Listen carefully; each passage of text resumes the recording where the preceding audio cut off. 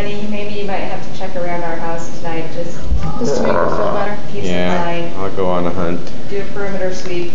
'Cause If I see one that big, it's dying by my hammer. Oh, yeah. Oh, yeah. Um.